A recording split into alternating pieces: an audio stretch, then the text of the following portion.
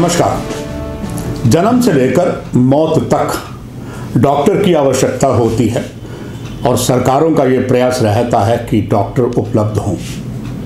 जम्मू कश्मीर में भी ऐसा ही सरकार का दावा है, मगर इतने ज़्यादा रिक्त स्थान पड़े हैं जिससे ये साफ़ प्रमाण मिलता है कि जम्मू कश्मीर का स्वास्थ्य विभाग पटरी से उतरा हुआ है। आइए कुछ साक्षात प्रमाण आपको देते हैं, जो ये बात प्रमाणित कर देंगे कि जो ज़्यादा सड़क दुर्घटनाएँ होती हैं अस्पतालों में मौत होती है, उसकी जिम्मेदार सरकार ही है।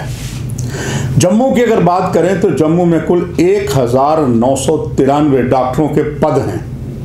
मगर इनमें से 1100 डॉक्टर तैनात हैं और 1022 पद जम्मू डिवीज़न में खाली हैं। और तुर्रा उस पर यह है कि एक सौ उनतीस ऐसे डॉक्टर हैं जिनके पीछे बड़े बड़े लोगों का हाथ है। पॉलिटिशियन कह लीजिए, ब्यूरोक्रेट कह लीजिए, उनकी संख्या एक सौ उनतीस है जो पूरी तरीके से अटैच होते हैं। हालाँकि सरकार दावा करती है कि हमने अटैचमेंट ख़त्म कर दी है। आइए, जम्मू लद्दाख, कश्मीर, यानी कि जेएल के मीडिया में सबसे पहले अगर बात हम करते हैं तो हम करेंगे पहाड़ी क्षेत्रों की, जिला किश्तवाड़, जो बहुत ही संवेदनशील है हर प्रकार से। वहाँ पर कुल चौरानवे डॉक्टरों के पद हैं, इकतालीस मौजूद हैं और छप्पन पोस्ट खाली हैं। आप अंदाज़ा लगाएँ किश्तवाड़ की यह हालत जो पहाड़ी क्षेत्र है 56 वेकेंट सीट हैं।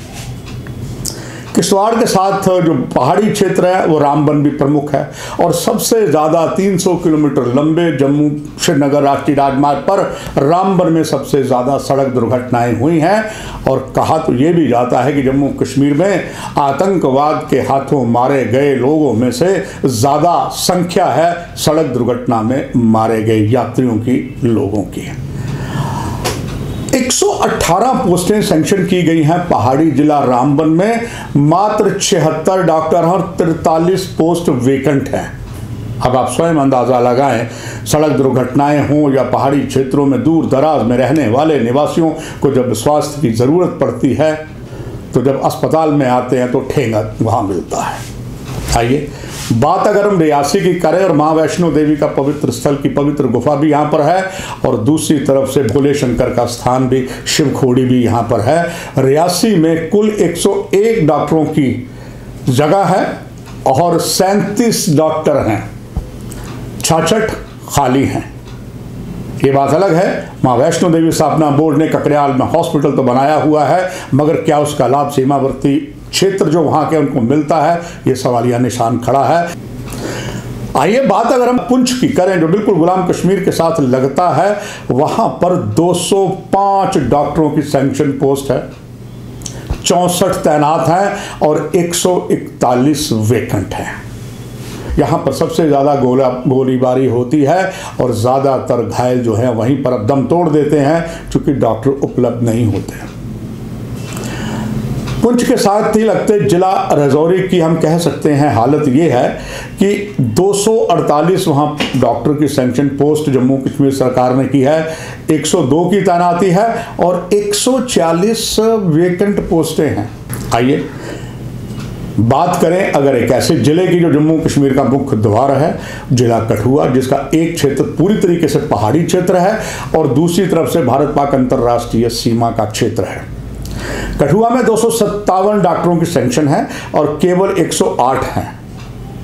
अब चाहे पहाड़ी क्षेत्र हो या भारत पाक अंतर्राष्ट्रीय सीमा का क्षेत्र हो, हालत खराब होती है क्योंकि डॉक्टर पूरे उपलब्ध नहीं है, एक सौ बावन खाली सीटें हैं। समय आ चुका है कि सारी जब तक पोस्टें जो वेकेंट हैं, वो भरी ना जाएँ तो काफ़ी ज़्यादा समस्या होती है। मगर ये बात प्रमाण कर गई है ना तो राजनीतिक दलों को ज़्यादा चिंता होती है और ना ही ज़्यादा राज्य सरकार इसके लिए संवेदनशील है, जिसकी होने की बहुत ज़्यादा आवश्यकता है। इस कार्यक्रम की यही समाप्ति। अगला कार्यक्रम निश्चित तौर पर हम कश्मीर घाटी, लद्दाख, यानी कि जे एल के जम्मू की बात होगी। अब बात हम करेंगे लद्दाख और कश्मीर की जे एल के मीडिया में अगले अंक में। नमस्कार।